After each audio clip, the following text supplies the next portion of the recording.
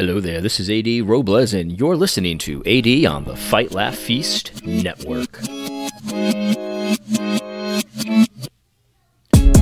All right, all right. Well, today, before we get started, I just wanted to say if you have not yet become a Fight Laugh Feast Club member, please consider doing so. You get access to all kinds of exclusive Fight Laugh Feast member content, uh, also discounts on merchandise, and most, most importantly, you get to support the content that you enjoy. This kind of content is, I think, very unique. Um, it's hard hitting, we don't pull punches, and at the same time, we don't screech. That's the other thing. There's no despair in the Fight Laugh Feast Network. No despair at all. So please consider joining as a member to support this content. Please use the show code ROBLES, R O B L E S, and the guys will know that you came over um, because you like this content in particular. So that would be very helpful to me personally. It would mean a lot to me and my family if you became a Fight Laugh Feast Club member. Show code ROBLES. Also, I'm also going to start. Uh, I teamed up with uh, the the people at Confessional Wear, and I came up with a couple of interesting shirt designs. So I'm going to start promoting those a little bit more. Um, I think that the shirts are excellent and very good conversation starters, especially in this year's political season. So go ahead and check those out on my Twitter page and my uh, Facebook as well. Anyway, let's jump in to today's content. Today's going to be a bit of a grab bag, but I wanted to start somewhere. Um, in Deuteronomy. I've been talking a lot about Deuteronomy lately. I've been thinking a lot about Deuteronomy lately.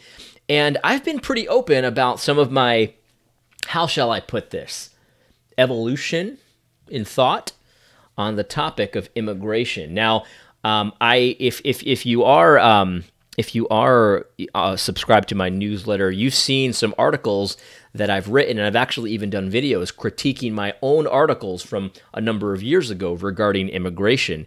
At the time, I was very pro open borders, and I still sort of am with some very important qualifications. But one of the one of the arguments that I think uh, evangelicals think is kind of dirty sounding is the argument about demographics because open immigration and and having a lot of immigrants come in from the nations and stuff like that um, will change sort of the uh, the political map, essentially. I mean, a lot of the people that we're importing, let's just be honest, are not conservative. A lot of the people we're importing do not share our traditional Christian values. In fact, many of them are quite progressive. Many of them are socialist. Many of them are, you know, looking to be dependent on the state, at least initially. And uh, to a lot of conservative, that's a real, real problem. Why would you, if you're conservative, in the in the United States. Why would you import a ton of people that are against what you stand for. That doesn't make any sense. And definitely rationally that doesn't make any sense you know that from a logic perspective um, if you want to be pragmatic about things and you truly are conservative you would not want to make your life a lot more difficult by importing a bunch of socialists obviously that's that's an obvious thing um, but evangelicals a lot of times feel like that's kind of like a it's a very pragmatic argument um, and it's a kind of a it kind of feels a little icky to make an argument like that, at least to a lot of people. It sounds xenophobic and racist and stuff like that. And as you know, I'm immune to those kind of charges. Maybe not immune, but but th- those kind of charges have no effect on me. When you say something's a racist argument, people tweet me all the time. How could you how could you retweet this person? He's a racist. And and honestly, um, I, I, that, that that doesn't have any effect on me. If someone's a racist or not, that really doesn't have any impact on whether or not I retweet them or whether or not I listen to them or whether or not I agree with something that they said. Believe it or not, there are racist people that believe some true things. I mean, I don't know. I, I guess it seems pretty obvious to me. But anyway, that kind of stuff doesn't really have an impact on me. But I am sensitive to the the the claim that that's really a pragmatic thing and not a principled thing. And so I've thought a lot about it. And one of the shifts that I've made over the last couple of years is that I understand that the Bible presents a situation where there's not that many immigration laws, if any. There's a relatively open um, uh, immigration policy according to the Bible if we're going to apply the general equity of the law. But it's not no holds barred, it's not chaos. It's not open immigration and just, you know, throw caution to the wind. No, no, no. The Bible still has borders. The, di- the Bible still has walls, that still charges the government, um, the, the, governing authorities, to uh, execute justice fairly. To uh, and you can't really execute justice if you have a completely porous border. That doesn't make any sense. If there's no borders, there has to be borders because you have to know where your jurisdiction is. You have to know where you can execute justice. So um, it's not chaos. But but here's the here's what I think is is super important, and let me throw this out there, and you know maybe you, you can think about this and and throw me challenges if you want.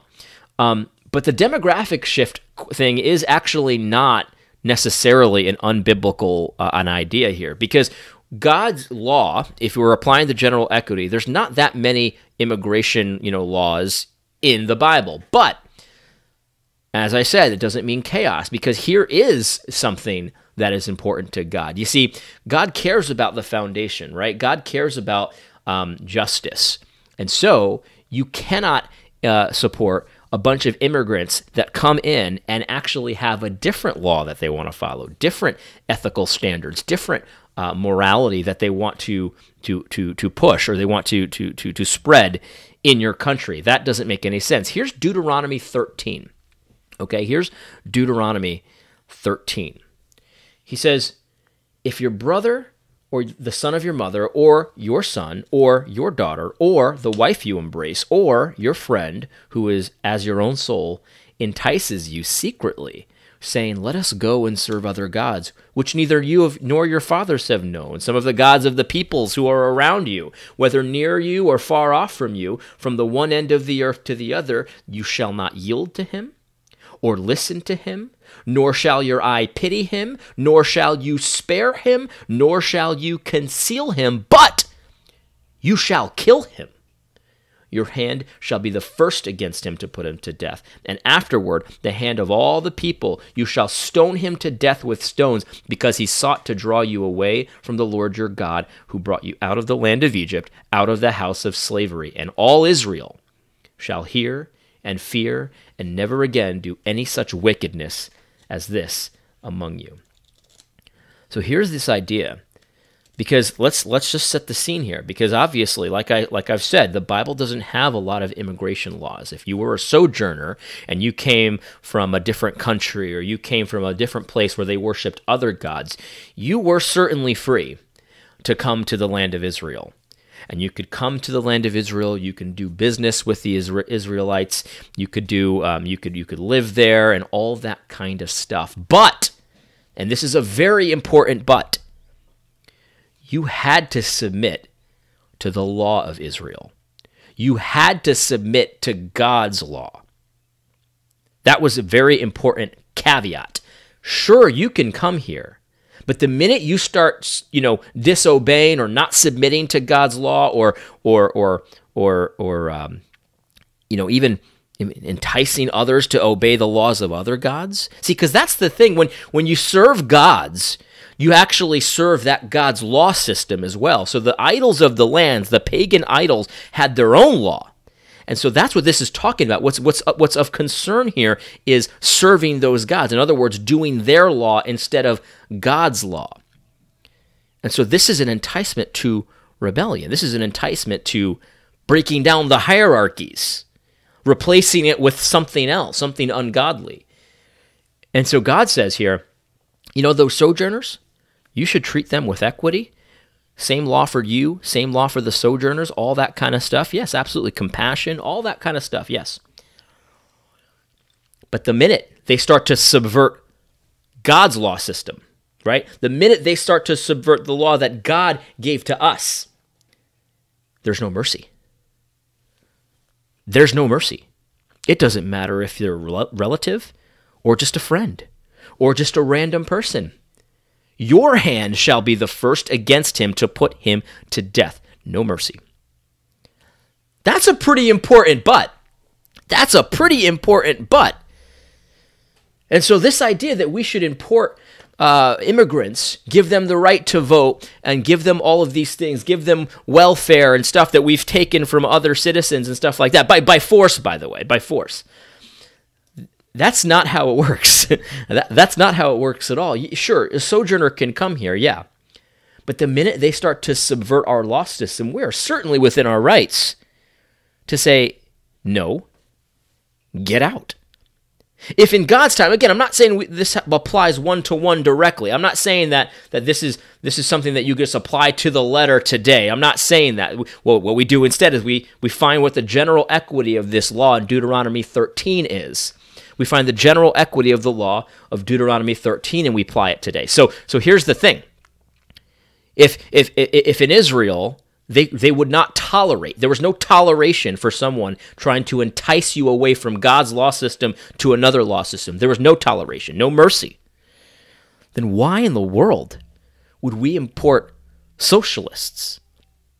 Here's something that you need to understand socialism is a pagan ideology, a pagan law system. Socialism is pagan, it's not up for debate. It's not, well, we can agree to disagree. Christians can be uh, socialists too. No, you can't. Christians cannot follow a pagan law system. That shouldn't be controversial, right? That, that, that shouldn't be controversial. And so, yeah, sojourners, fine. If, if you're escaping uh, tyranny and stuff like that, yeah, sure, you can be here. No problem. But you must submit.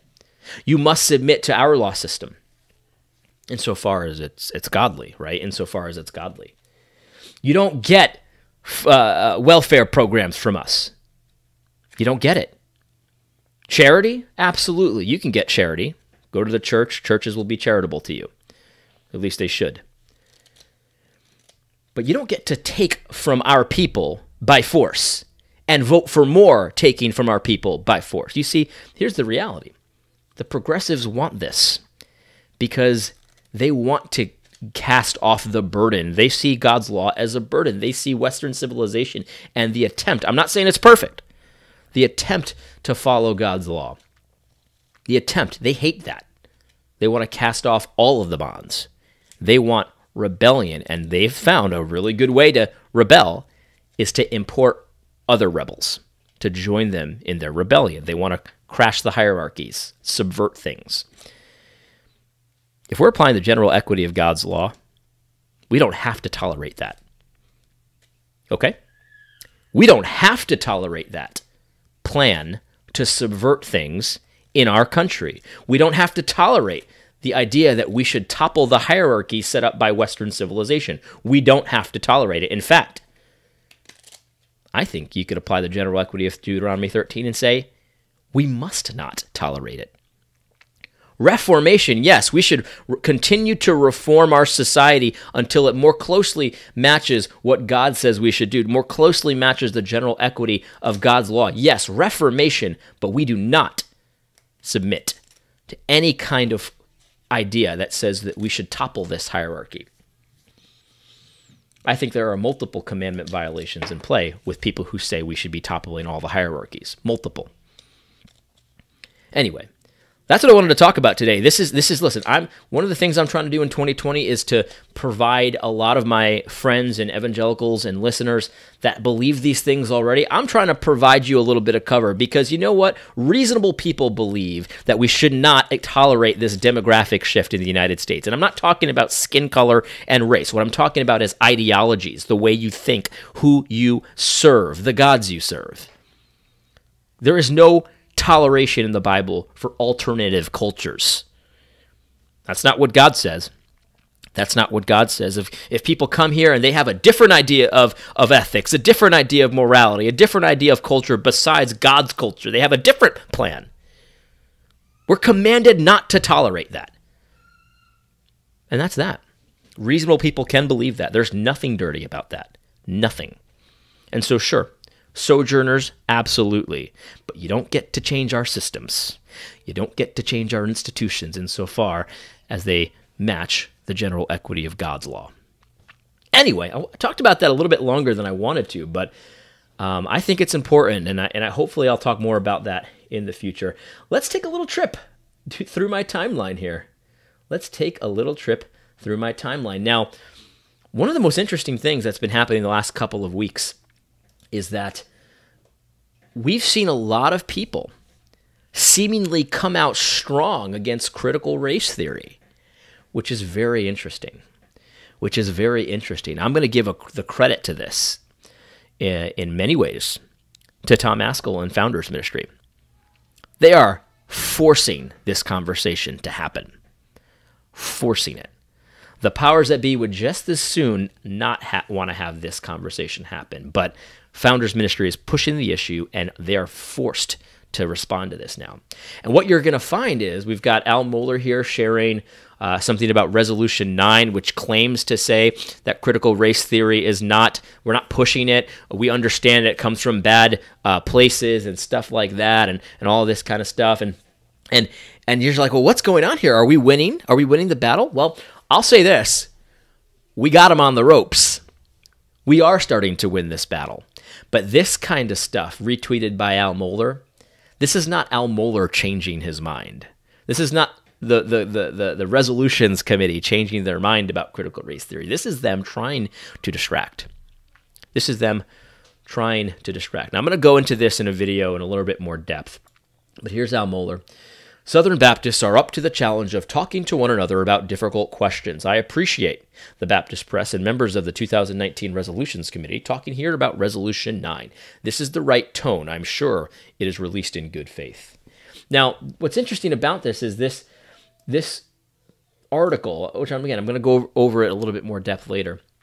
It talks about you know, well, we agree. We're concerned about the about the about the origins of of, of, of critical uh, of critical theory and stuff like that. But we know it's it's an it's just an analytical tool that people use and stuff like that. Um, and and the reality is that that that's obvious. You know, obviously that's true. But they still wanted to push this idea that critical race theory can be legitimately used. Because here's the thing this is Chocolate Knox's response. And this is a very important response because Chocolate Knox was on the ground. He, he saw this stuff happen. He says, What's funny about this comment is that it was Al Mohler in the wings talking to Tom Ascol and helping craft the friendly amendment because he thought the resolution was a mistake and insufficient. Didn't he even do a podcast speaking against the passing of Resolution 9 the next day? Both of those things are true. And if you remember, the, the, the amendment that Tom Ascol offered was a very, it wasn't very harsh. It was basically like we want to make sure we acknowledge the, the, the, the, the, the, sources of these, the pagan sources of these ideas.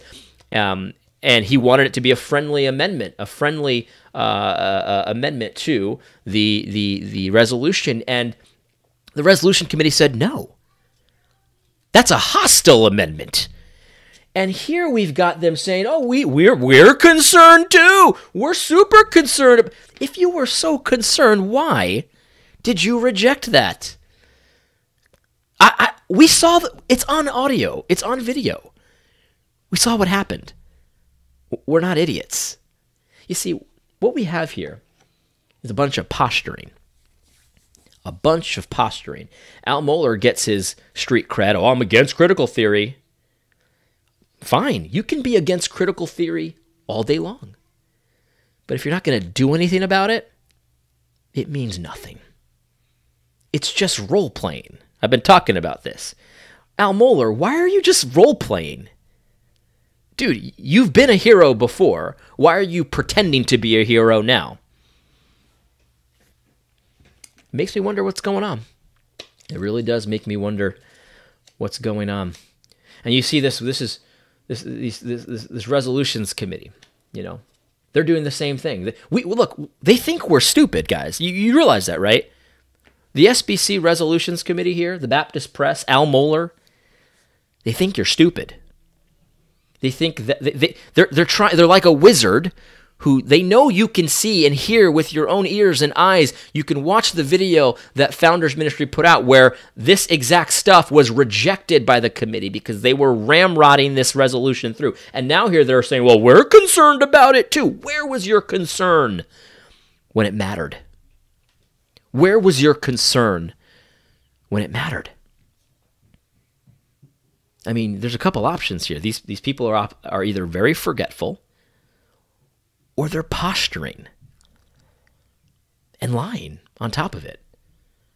Because if you are so concerned about the origins of these pagan ideologies, these analytical tools, you would have accepted the amendment that Tom Ascol offered as a friendly amendment. But you didn't. when it mattered, you didn't. See, here's the reality Al Mohler, he's like what they talked about in Jeremiah when the when the priests and prophets were saying peace, peace, but there was no peace. There is no peace here. Al Mohler is trying to say that there is. Oh yeah, we can talk about this. Notice the emphasis on the right tone. The right tone matters to Al Mohler more than the truthfulness of the statements. Al Mohler intimately knows that his amendment was rejected his amendment was rejected. Tom Ascol's amendment, partially crafted by Al Mohler, was rejected. And here he is saying, this is the right tone. When they pretend to ad- agree with the friendly amendment that they actually rejected when, when it mattered, when they had to put their name to paper. They think we're stupid, but we're not stupid. This kind of wizardry might have worked before, you know, like before there was like a lot of internet where people could just rewind the tape and, and see how it all actually went down instead of this spin that you're putting forward. This kind of wizardry might have been easier to pull back in the day, but now you think we're stupid. But we're not stupid. What are you up to? What are you up to? Anyway, I hope this video, uh, this podcast, I hope this podcast was helpful. God bless.